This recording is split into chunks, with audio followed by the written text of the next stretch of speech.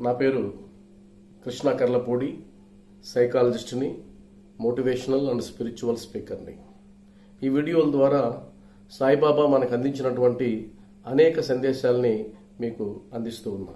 అదేవిధంగా అనేక మోటివేషనల్ వీడియోలు కూడా మీకు అందిస్తూ ఉన్నా. ఈరోజు బాబా చెప్పినటువంటి ఒక గొప్ప సందేశం గురించి మనం మాట్లాడదాం. అదేంటంటే విమర్శించడం. సాయి భక్తులుగా మనం ఎవరినైనా విమర్శించవచ్చా? అన్న దాని గురించి ఈరోజు మాట్లాడదాం. అసలు ఈ భూమిపైన అత్యంత సులభమైన పని ఏంటి అంటే ఇతరులని విమర్శించడం. అదేంటో ఇతరులను విమర్శిస్తుంటే కొంతమందికి ఎక్కడ లేనటువంటి బలం వస్తుంది జోష్ వస్తుంది అనమాట అందువల్ల విమర్శిస్తారు. అదేవిధంగా ఈ భూమి మీద మహాత్ములుగా వెలుగొందినటువంటి అనేక మంది జీవితాలను మనం పరిశీలించినట్లయితే వాళ్ళందరూ విమర్శలకు గురైన వాళ్ళే. కాబట్టి విమర్శలకు గురైనప్పుడు ఎలా ప్రవర్తించాలి ఏం చేయాలి ఎలా ప్రతిస్పందించాలన్న విషయాన్ని ఇంకొక వీడియోలో చూద్దాం. ఈరోజు అసలు విమర్శించడం వలన ఉపయోగం ఏంటి? సాయి భక్తులుగా మనం విమర్శించవచ్చా లేదా అన్నది ఈరోజు మనం మాట్లాడతాం. బాబా ఈ సందర్భంలో అన్న మాటని మీకు తెలియజేస్తాను. ఎవరిని ద్వేషించవద్దు ఎవరిని నిందించవద్దు. ఇతరులు నిన్ను అవమానించిన సహనంతో ఉండు. ఒకడు ఇతరులను నిందిస్తే నిన్నే నిందించిన వాడవుతాడు నన్నే నిందించిన వాడవుతాడు నా గుండెలు చీల్చిన వాడవుతాడు అని బాబా చెప్పిన మాట.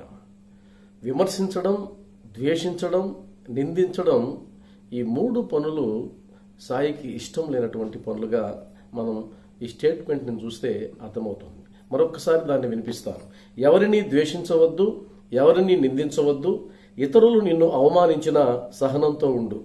ఒకడు ఇతరులను నిందిస్తే నన్నే నిందించిన వాడవుతాడు నా గుండెలు చీల్చిన వాడవుతాడు ఇది చాలా పెద్ద మాట. అంటే ఒకరిని విమర్శించడం నిందించడం ద్వేషించడం అన్నది సాయిబాబాకు అస్సలు ఇష్టం లేనటువంటి పని. ఆ పనిని మనం చేసినట్లయితే ఆయన గుండెలు చీల్చిన వాళ్ళు అవుతాం అన్నటువంటి కఠినంగా మనల్ని హెచ్చరించాడు. కాబట్టి దీని గురించి మనం ఈరోజు చర్చించాలి. విమర్శలు మూడు రకాలుగా విభజించవచ్చు. కువిమర్శలు అంటారు. అంటే చెడుగా విమర్శించడం. ఆ విమర్శలో మంచి ఉద్దేశమే ఉండదు.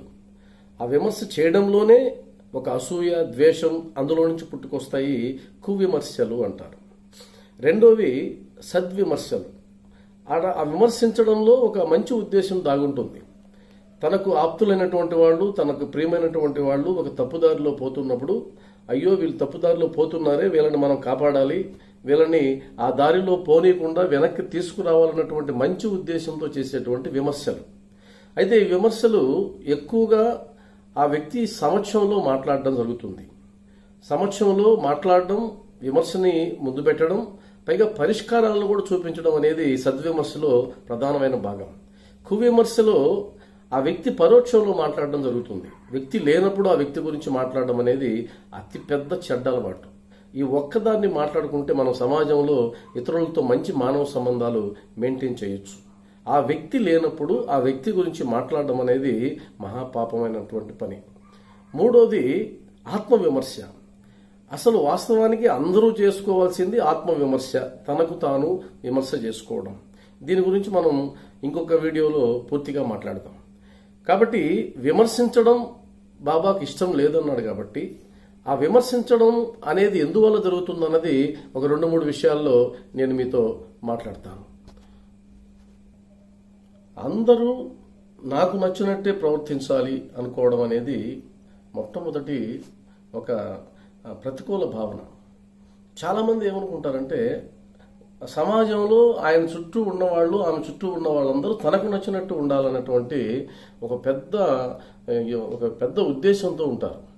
ఒక మిత్రుడు నన్ను సందర్భంలో నేను బజార్లో వెళ్తుంటే ఆపాడు. ఆపి నాతో ఏమన్నాడంటే కృష్ణయ్య నువ్వు అసలు అర్థం కావు నాకు. కొద్దిసేపు ఏమో మోటివేషన్ క్లాసులు అంటావు కొద్దిసేపు ఏమో సాయిబాబా తత్వం అంటావు. అసలు నిన్ను ఎలా అర్థం చేసుకోవాలి? అని అన్నాడు. నేను ఆ మిత్రుడికి చెప్పిన సమాధానం ఏంటంటే అసలు నేనెందుకు నీకు అర్థం కావాలి అని. అంటే ఇతరుల్ని అర్థం చేసుకోవడం ఇతరుల్ని ఇదేనా నీ పని? నీకు నీకంటూ ఒక అజెండా ఏముండదా? నీకంటూ ఒక ప్రణాళిక ఏముండదా? ఎప్పుడు ఇతరులు గమనించడం వాళ్ళు ఏం తప్పు చేస్తారు అనేదేనా నీ నీ అజెండా? అని నేను అనేసరికి అతను షాక్ గురైనాడు. వాళ్ళు ఏమనుకుంటారంటే వాళ్ళు ఇలా ఉండాలి వీళ్ళు ఇలా ఉండాలని నిర్దేశిస్తూ పోతుంటారు. ఒకవేళ వీళ్ళకి నచ్చినట్టుగా ఉండకపోతే ఇంకా అక్కడి నుంచి విమర్శించడం మొదలు పెడతారు ఇది చెడ్డ అలవాటు దీన్ని మనం ఖచ్చితంగా మానుకోవాలి. రెండవది అందరూ నన్ను గౌరవించాలా అనుకోవడం ఇది రెండవ ఒక చెడు భావన. అసలు మీరు ఎలాంటి మంచి క్వాలిటీస్తో ఉన్నా సరే అందరూ నిన్ను పొగడడం అనేది అందరూ నిన్ను గౌరవించడం అనేది జరగనే జరగదు. ఎందుకంటే నీకు నువ్వు ఎంత మంచిగా ఉన్నా నేను విమర్శించే వాళ్ళు ఉంటారు. ఆ విమర్శించే వాళ్ళకి లోపల మాత్రమే ఉంచుకొని ఆ భావాన్ని పైకి నీతో మామూలుగా నటిస్తూ ఉండొచ్చు. కాబట్టి అలాంటి పరిస్థితుల్లో మీరుగానే ఉంటే అందరూ నీకు మిమ్మల్ని గౌరవించాలి అనుకుంటే నువ్వు అందరినీ విమర్శిస్తూ పోతుంటావు. ఉదాహరణకి అలాంటి సందర్భం వచ్చినప్పుడు మనం ఆత్మవిమర్శ చేసుకోవాలి. అసలు ఎందుకు గౌరవించాలి మనల్ని అని ఆత్మవిమర్శ చేసుకోవాలి. అంతేగాని వాళ్ళు మనల్ని గౌరవించలేదు కాబట్టి వాళ్ళు విమర్శిస్తూ పోవడం అనేది మంచి పద్ధతి కాదు. నేను ఒక ఆఫీస్కి వెళ్ళాను. ఆఫీసులో అధికారి ముందు కూర్చున్నాను. ఆయన ఏదో బిజీగా ఉన్నాడు పని చేసుకుంటూ ఉన్నాడు. నేను వెళ్ళి విష్ చేశాను.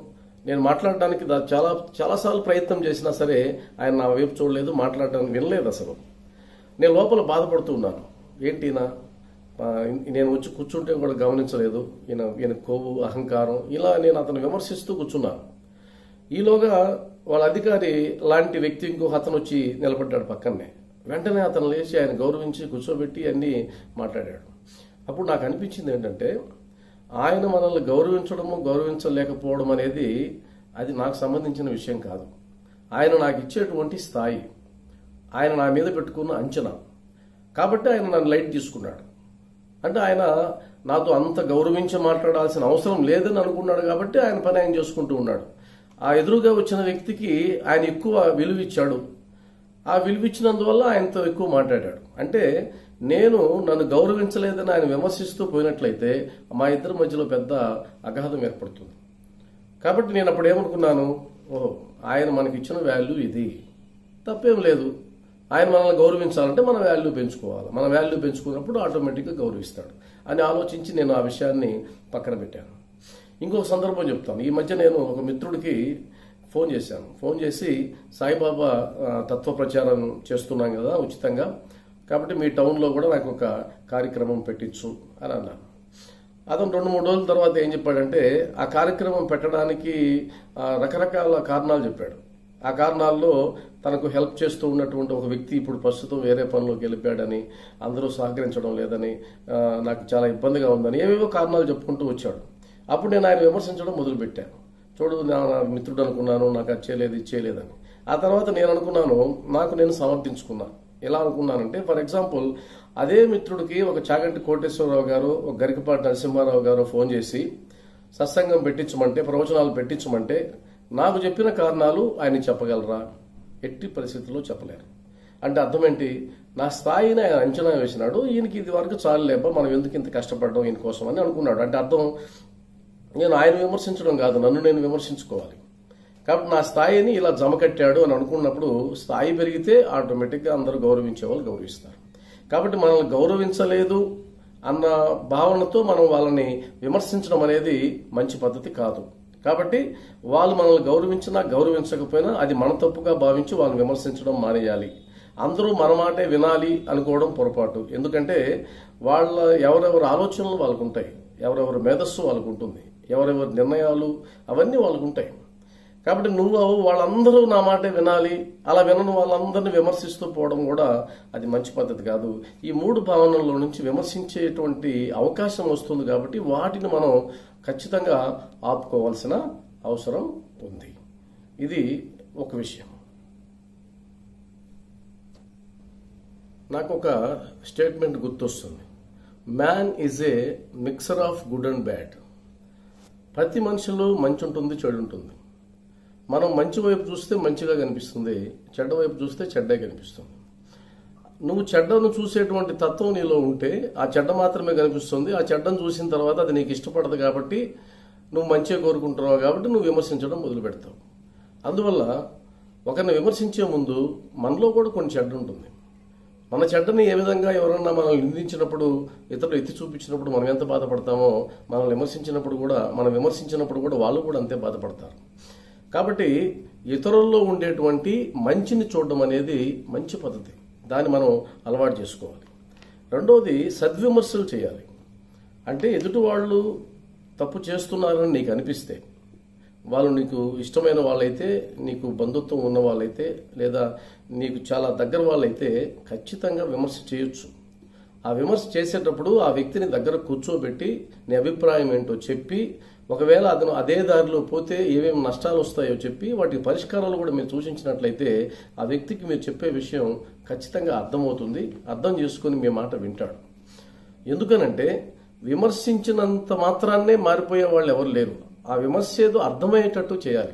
మనం పిల్లల్ని విమర్శిస్తూ ఉంటాం. అలా చేయకూడదు ఇలా చేయకూడదు అలా చేయాలనేసి. అంత అంత మారిపోతున్నారు. వాళ్ళు మారడం లేదు. పైగా మీకు ఎదురు తిరుగుతున్నారు. ఎదురు తిరగడం మీ మీద కోప్పడడం మీ మీద అలిగి వెళ్ళిపోవడం జరుగుతూ ఉంది. మరి పెద్దలు అలా చెప్పినప్పుడు పిల్లలు ఎందుకు అలిగి వెళ్ళిపోతున్నారంటే మీరు చేసేటువంటి విమర్శ వాడికి అర్థమయ్యేటట్టు లేదు. అదే ఆ విధంగా కాకుండా తల్లిదండ్రులు ఇంకొక రకంగా ప్రవర్తిస్తే వాడు మాట వినే అవకాశం ఉంది. ఎందుకంటే మీరు విమర్శించే విషయాన్ని సూటిగా కూర్చోబెట్టి పరిష్కారంతో కూడా చెప్పి నానా ఇలా చేయొచ్చు అలా చేయొచ్చు అంటే ఆ బిడ్డ వినేటువంటి అవకాశం ఉంది. అందువల్ల విమర్శించడం తగదు. బాబా ఇంకొక సందర్భంలో ఇంకా ఘాటుగా చెప్పాడు. ఒక మిత్రుడు ఒక మిత్రుణ్ణి ఇంకొక మిత్రుడు విమర్శిస్తూ ఉన్నాడు బాబా దగ్గరకు వచ్చి అప్పుడు బాబా దూరంగా ఉన్నటువంటి ఒక పందిని చూపించాడు. పందిని చూపిస్తూ ఆయన అన్న మాటని మీకు వినిపిస్తాను. చూడుము ఆ పంది అమేధ్యాన్ని అంటే మలాన్ని ఎంత రుచిగా తినుచున్నదో నీ స్వభావం కూడా అట్టిదే. ఎంత ఆనందంగా నీ సాటి సోదరుని తిట్టుచున్నావు ఎంతో పుణ్యం చేయగా నీకు ఈ మానవ జన్మ లభించింది. ఇట్లు చేసినచో షిరిడీ దర్శనము నీకు తోడ్పడునా? అని అన్నాడు. అంటే అర్థం ఏంటి మనం ఎవరినన్నా విమర్శిస్తున్నామంటే వాడిలో ఉండేటువంటి చెడ్డని నీ నాలుకతో శుభ్రం చేస్తున్నావు అని అర్థం. పందిలాగా. కాబట్టి పంది మలాన్ని ఎలా భుజిస్తూ ఉందో ఎంతో ఇష్టంగా నువ్వు వాడి చెడ్డని నీ నాలుగుతో ఎందుకు శుభ్రం చేస్తావు? వాడి చెడ్డని కడగా కడిగేయాలి అనుకుంటే దానికి ఒక పద్ధతి ఉంటుంది. ఆ పద్ధతిని అవలంబించాలి. కానీ కేవలం విమర్శించినందువల్ల నిందించినందువల్ల ద్వేషించినందువల్ల ఎవ్వరూ మారే అవకాశం లేదు ఈ భూమి మీద.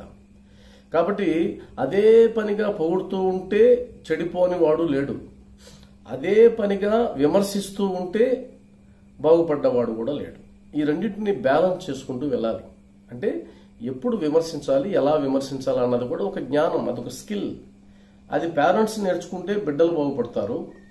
పెద్దవాళ్ళు నేర్చుకుంటే సొసైటీలో మంచి హ్యూమన్ రిలేషన్స్ వాళ్ళకి ఏర్పడతాయి. ఎందుకంటే మన నోటి గుండా వచ్చేటువంటి మాటే ఇతరులతో మన సంబంధ బాంధవ్యాలని దృఢపరుస్తుంది. మంచిగా మాట్లాడడం నేర్చుకుంటే మంచి మానవ సంబంధాలు ఏర్పడతాయి. దీనికి ఒక అద్భుతమైన కథ కూడా ఉంది. ఒక స్వామీజీని కొంతమంది భక్తులు వచ్చి అడిగారు స్వామీజీ మీరు అన్నీ మంచి మాటలు చెప్తున్నారు మాకు బోధిస్తూ ఉన్నారు కానీ మీరు కూడా కొన్ని పాపాలు చేస్తారు కదా. కొన్ని క్రిములని చంపేస్తారు కదా మీరు భోంచేసేటప్పుడు నడిచేటప్పుడు కొన్ని క్రిములు మీ వల్ల చనిపోతాయి కదా.